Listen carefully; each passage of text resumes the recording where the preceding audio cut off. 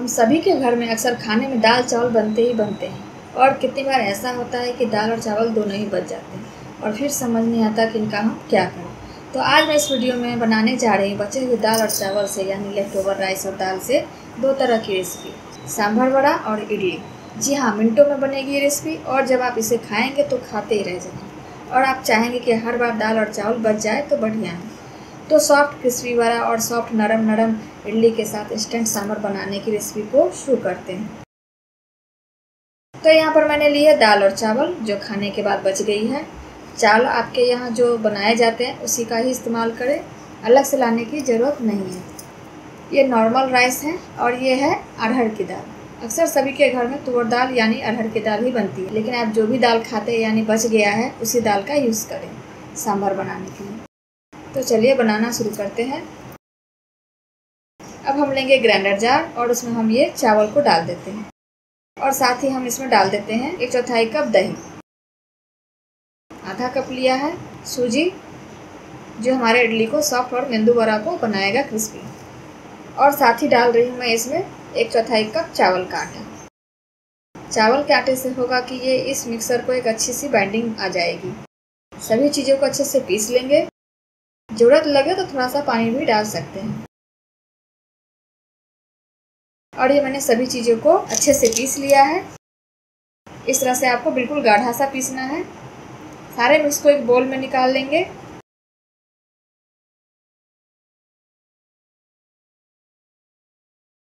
अब मिक्स में डालेंगे बारीक कटा हुआ कड़ी पत्ता। एक छोटी चम्मच डाल देंगे जीरा और नमक स्वाद के अनुसार। अच्छे से सभी चीज़ों को मिक्स कर लेंगे।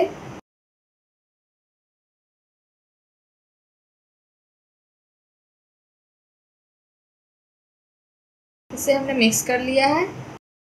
अब इस मिक्स में से हम आधा मिक्स निकाल लेंगे एक दूसरे बोल में।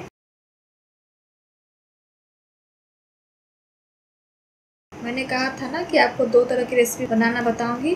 तो ये आधे मिक्स से मैं यहाँ मेंदू वड़ा बनाएँगे और आधे इस मिक्स से इडली। तो आधा निकाल लिया है मैंने। अब इस मिक्स से हम मेंदू वड़ा बनाएँगे। तो हमें इसमें और भी कुछ चीज़ें डालनी है, जैसे कि दो हरी मिर्च बारीक काट कर लेंगे और जाएगा बारीक कटा हुआ हरा धनिया। साथ ही डालेंगे बारीक कटा हुआ अदरक। इसे हम मिक्स कर लेते हैं।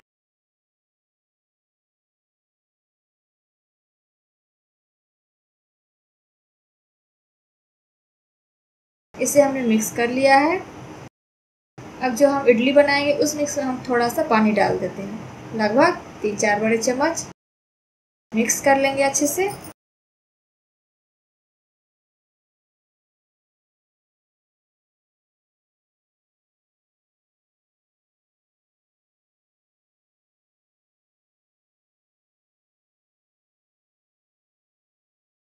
मिक्स करने के बाद इन दोनों को हम ढककर रख देते हैं रेस्ट पर।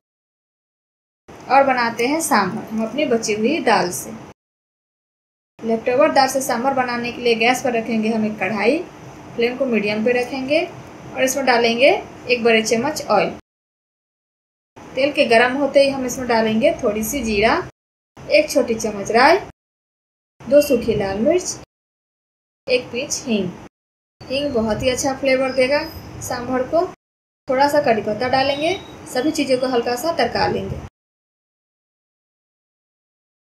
अब यहाँ पर मैंने ली है कुछ सब्ज़ियाँ, जैसे कि एक मीडियम साइज़ का प्याज, जिसको मैंने इस तरह से लंबे लंबे टुकड़ों में कट कर लिया है। एक चौथाई कप लिया है मैंने लौकी, जिसको छोटे छोटे पीसेस में कट कर लिया है। साथ ही यहाँ पर मैंने लिया है चौथाई कप ड्रम स्टिक ये घर में थे तो मैंने ले ली है। एक चौथाई कप लिया है सीताफल, इसे मैंने छिलके सहित इस तरह से कट कर लिया है। आप देखते होंगे कि जब भी आप होटल या ढाबा से सांभर लेते हैं तो इसमें ये इसी तरह से छिलके सहित मिलते हैं। और थोड़ा सा लिया है बैगन। आपके पास जो भी सब्ज़ी अवेलेबल हो, वो पड़ी हो, घर में आप ले सकती हैं। तो सारी सब्ज़ियाँ हम यहीं पर डाल देंगे और थोड़ी देर इन्हें हम भून लेते हैं। बहुत ही इंस्टेंट बनती है ये सांभर। टेस्ट में कोई भी आपको डिफरेंट नहीं लगेगा। होटल के सांभर में और इसमें बहुत ही आसान तरीका है। सब्ज़ी हमारी हल्की सी भुन गई है तो इस टाइम हम इसमें डाल देंगे एक बड़े साइज़ का टमाटर, जिसको मैंने इस तरह से कट कर लिया है। साथ ही डालेंगे हम यहाँ पर नमक। नमक हम बिल्कुल हिसाब से डालेंगे, क्योंकि दाल में भी नमक है ऑलरेडी नमक डालकर अच्छे से भून लेंगे, जब तक कि टमाटर थोड़ा सा गल ना जाए।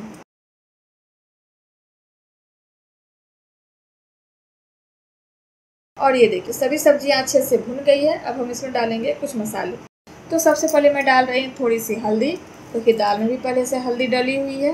एक छोटी चम्मच धनिया पाउडर साथ ही यहाँ डाल रही हैं एक छोटी चम्मच कश्मीरी लाल मिर्च का पाउडर और आधी छोटी चम्मच रेगुलर लाल मिर्च पाउडर, जो तीखी होती है। और अब हम इसमें डालेंगे दो बड़े चम्मच सांभर मसाला। और सभी को अच्छे से मिक्स कर लेंगे और करीब आधे मिनट तक हम इसे भून लेंगे।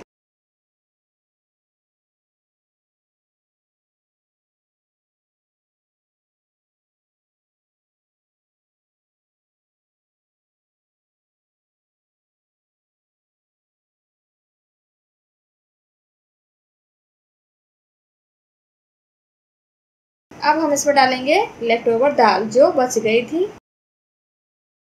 और अच्छे से इसे मिक्स कर लें। और डाल देंगे हम इसमें करीब दो कप पानी, क्योंकि सब्ज़ी अभी और पकेगी और सांभर थोड़ा पतला ही अच्छा लगता है। इसके बाद हम इसमें डालेंगे टैंगी फ्लेवर के लिए दो बड़े चम्मच इमली का पानी। इमली के पानी की जगह आप नींबू का रस भी डाल सकते हैं, या फिर अभी कच्चे आम का मौसम है तो उसे भी एक मीडियम साइज़ के आम को आप इसका डाल सकते हैं। आमचूर का पाउडर भी डाल सकते हैं। मिक्स कर लेंगे और मिक्स करने के बाद इसे हम कवर कर देंगे। और कवर करके इसे हम लो मीडियम फ्लेम पर लगभग पाँच मिनट सांभर को अच्छे से पकने देंगे। पाँच मिनट हो गए हैं, सांभर को देख लेते हैं। ये देखिए, अच्छे से पक चुकी है सब्ज़ी हमारी। ग्रेवी को इससे ज़्यादा नहीं पकाएँगे एकदम सही कंसिस्टेंसी है सांभर की। ठंडे होने के बाद ये थोड़ी और ठीक हो जाएगी, बहुत ही बढ़िया खुशबू आ रही है सांभर से। जब आप इसे सर्व करेंगे तो खाने वाले बता ही नहीं पाएँगे कि आपने इसे बची हुई दाल से बनाई है और वो भी इतनी जल्दी। तो अब हम गैस को ऑफ़ कर देते हैं और डाल देते हैं इस पर बारीक कटा हुआ हरा धनिया। मिक्स कर लें। अब सांभर तैयार है। चलिए अब फटाफट से मेंदू वड़ा और इडली बना लेते हैं।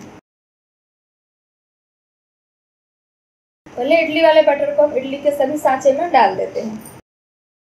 सभी सांचे को मैंने ग्रीस कर लिया है ऑयल से। सभी में डाल दें।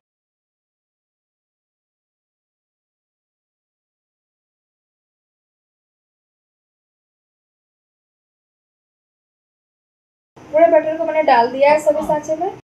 पानी पहले से ही गैस पर मैंने चढ़ा दिया है उबलने के लिए। सभी प्लेट्स को सावधानी से रखेंगे। और कवर करके लगभग 20 मिनट तक हम इसे स्टीम कर लेंगे। अब मेंदू वड़ा के बटर को देख लेते हैं। तो ये एकदम सही है। अगर आपको ये बैटर थोड़ी गीली लगे तो सूजी की मात्रा आप इसमें बढ़ा सकते हैं। हाथों में थोड़ा सा ऑयल लगा लेंगे और थोड़ा सा मिक्स हाथों को इस तरह से लेकर बॉल बनाएँगे। और हल्के हथेली से इस तरह से दबा दें। और बीच में हम बेलन से इस तरह से होल कर देंगे। बेलन को मैंने ऑयल से भी ग्रीस कर लिया है। एकदम आसान बिल्कुल इस तरह से।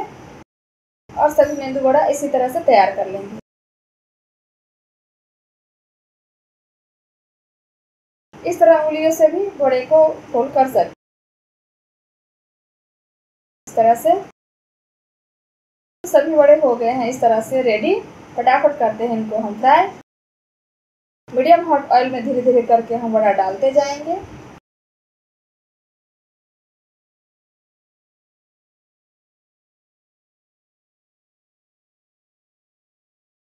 फ्लेम को लो मीडियम रखेंगे। अभी बिल्कुल भी बड़े को टच नहीं करेंगे। जब तक ये हल्के हल्के ऊपर ना आ जाए। फ्लेम को हाई नहीं करना है। कुछ देर बाद एक फोक या चम्मच से हल्का सा पलटते जाएँगे सभी बड़े को। और गोल्डन कलर आने तक सभी मेहंदी बड़े को फ्राई कर लेंगे।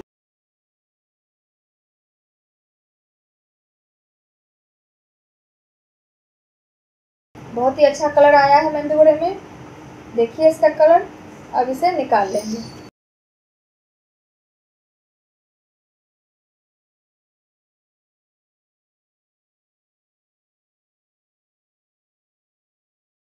और इसे मैं आपको तोड़ कर दिखाती इसका टेक्सचर एकदम बढ़िया सॉफ्ट और स्पंजी और ऊपर से एकदम क्रिस्पी अब यह हमारे इडली भी बनकर तैयार है। अब यह हमारे इडली भी बनकर तैयार हैं। गैस बंद करके इसे हम बाहर निकाल लेते हैं। और सारे इडली को हम कर लेते हैं डिमोल्ड।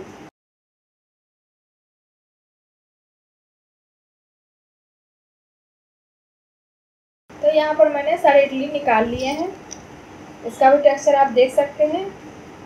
कितने सुपर सॉफ्ट और स्पॉन्जी बने हैं। तो चलिए अब इन दोनों को सांभर के साथ फटाफट से करते हैं सर्व पहले मेंदू वड़ा को सर्व कर लेते हैं।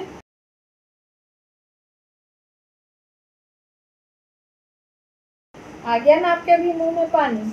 बहुत ही बढ़िया, मज़ेदार बनने वाली रेसिपी है। तो जब भी आपके घर में दाल चावल बच जाए तो सोचिए मत, फटाफट से इस रेसिपी को बना डालिए।